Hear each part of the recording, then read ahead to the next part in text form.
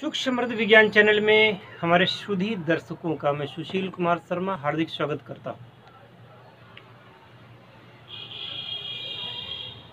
जो लोग हमारे चैनल पे नए आए हैं, वो तुरंत सब्सक्राइबर बने हमारे। सब्सक्राइब करके बेल का आइकन में आल सेलेक्ट कर लें। वीडियो लाइक करें, शेयर करें। क्योंकि इस चैनल को बढ़ाना ये आपकी ज़िम्मेदारी है।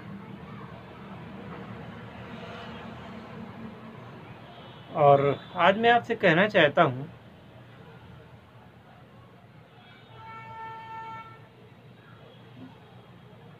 मैं क्या कहना चाहता हूँ, कुछ ऐसे फैक्ट हैं जो कि आपके लिए बहुत ही लाभकारी होंगे। जैसे कि रामचरितमानस के बालकांड में ही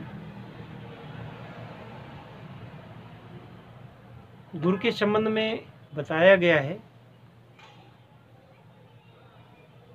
कि गुरु एक ऐसा व्यक्ति होता है, गुरु पुरुष भी हो सकता है, स्त्री भी हो सकती है। तो गुरु ऐसी स्थिति का नाम है, जो आपको इस संसार सागर से पार करने में आपकी मदद करते हैं। अब संसार सागर में आप फंसे हुए हैं तो संसार सागर से पार होने का तात्पर्य सिर्फ़ ये नहीं है कि आप मर जाएँ और मरने के बाद में संसार से पार हो जाएँ और आपको वहाँ स्वर्ग की प्राप्ति हो जाए। ऐसा भी नहीं। जो गुरु अपने शिष्यों की सांसारिक कामनाओं की पूर्ति नहीं कर सकते, सांसारिक रूप से जिनको सक्षम नहीं बना सकते उनके कष्टों का हरण नहीं कर सकते, उनको गुरु कहने का कोई अधिकार ही नहीं बनता। ऐसे लोग, गुरु तो कहे जाने की योग्य ही नहीं है। और वो केवल और केवल समाज को प्रदूषित करने का काम ही करते हैं।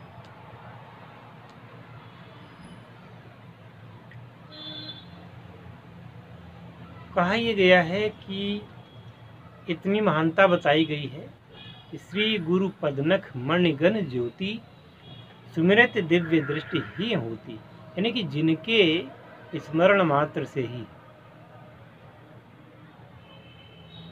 मन में दिव्य प्रकाश का अवतरण होता है, ऐसे गुरु होते हैं। गुरु का अर्थ अंधकार है, और रू कार का जो अर्थ है हटाना यानी कि जो अंधकार को हटाता है, वह गुरु होता है। अब वो किस अंधकार को हटाता है? आपके जीवन में फैले हुए अंधकार को हटाना।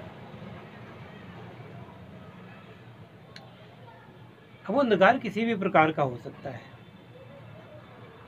कोई पारिवारिक समस्या हो सकती है, कोई राजनीतिक समस्या हो सकती है, कोई आर्थिक समस्या हो सकती है। या सिद्धि में प्राप्त न होने की भी समस्या हो सकती है। शारीरिक समस्या हो सकती है। आदि दैविक, आदि भौतिक समस्या हो सकती है। वो किसी भी प्रकार की समस्या हो सकती है, उसको निपटाने में गुरु का विशेष योगदान होता है, गुरु का विशेष महत्व होता है।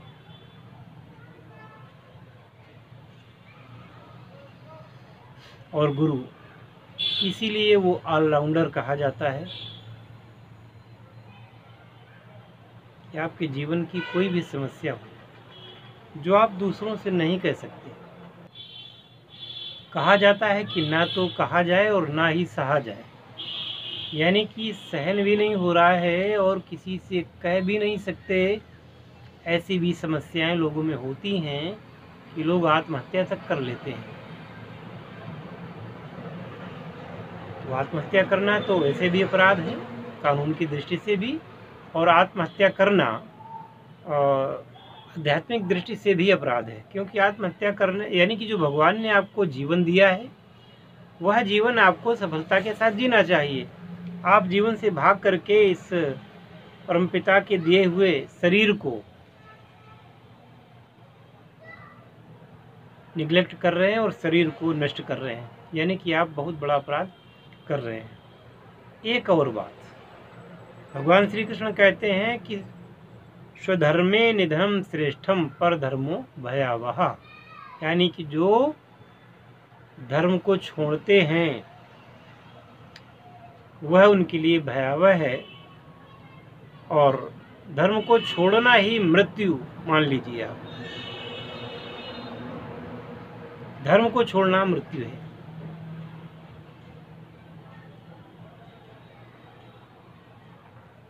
वो भी महापाप की श्रेणी में आता है। सनातन धर्म को छोड़ना महापाप की श्रेणी में आता है, जिससे कि फिर उस व्यक्ति का हज़ारों जन्मों के बाद भी उद्धार नहीं होता। चौरासी लाख योनियाँ है, उसमें भटकता रहता है, क्योंकि उसने अपमान किया है सनातन का और अपने शरीर का। और जो लोग हाथ में आए हुए मौके को, यानी कि आपके जीवन में अगर कोई टर्निंग पॉइंट आने वाला है, किसी साधना के फलस्वरूप, किसी क्रिया के फलस्वरूप, है ना? और किसी व्यापार के फलस्वरूप, या किसी प्रकार से, जो आपके जीवन में आने वाला है, सौभाग्य उसको रोकना तो ये ये भी एक प्रकार से मैं समझूँगा कि ये भी पाप की ही श्रेणी में आता है।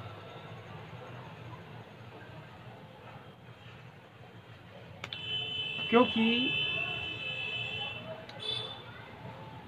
समाज हमेशा उनकी पूजा करता रहा है, जो मर चुके हैं, जिनकी कहानियाँ रह गई हैं।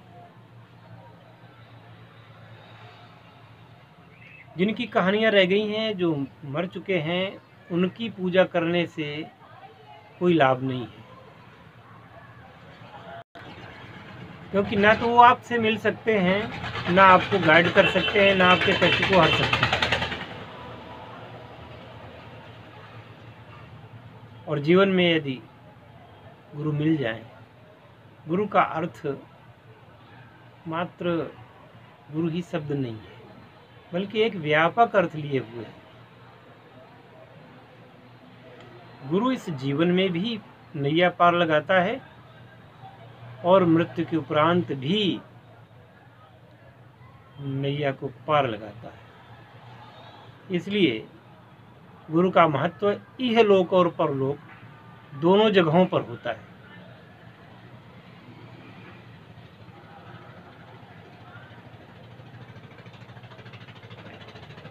मैं समझता हूँ कि गुरु तत्व अपने आप में इतना श्रेष्ठ और महान है, क्योंकि संसार में जिस दिन से गुरु खत्म हो जाएगा, उस दिन संसार फिर ये जंगली बन जाएगा और मैं समझता हूँ कि फिर ये संसार रहने लायक नहीं रह जाएगा।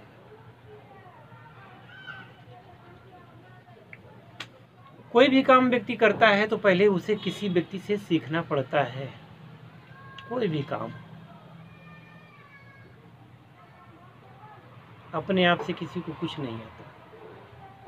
जब तक आपने किसी को करते नहीं देखा होगा, जब तक वो आपको बताएगा नहीं, या आप पुस्तक से ज्ञान लें, है ना? आप आवाज़ से ज्ञान लें, वीडियो से ज्ञान लें, या जैसे भी ज्ञान लें। मान लीजिए कि आपको केक बनाना है, ठीक है ना? केक कैसे बनता है? तो आपको पता होना चाहिए कि सामग्री क्या क्या पड़ती है। फिर पता होना चाहिए कि कितने तापमान में बनता है। उस सामग्री को किस मात्रा में मिलाया जाता है। कितनी देर उसको गर्म रखा जाता है। है ना? ये सारी चीज़ें जब आप जानेंगे, तब आप एक अच्छा केक बना करके तैयार करेंगे। ये जीवन इतना अमूल्य है कि इसके बारे में जितनी रिसर्च करो, थोड़ी है। और मैं ये चाहता हूँ कि कोई भी जीवन आधे में समाप्त ना हो, कोई भी आत्महत्या न करे, कोई भी न करे, और किसी के जीवन की खुशियाँ गायब ना हो। मेरी ये हार्दिक कामना रहती है कि व्यक्ति को जीवन में वो सारे सुख प्राप्त हों जिसकी उसे अति आवश्यकता है। एक आवश्यकता होती है, एक आवश्यक आवश्यकता होती है। तो जो आवश्यक आवश्यकताएँ हैं, उनकी भी पूर्ति होती रहे।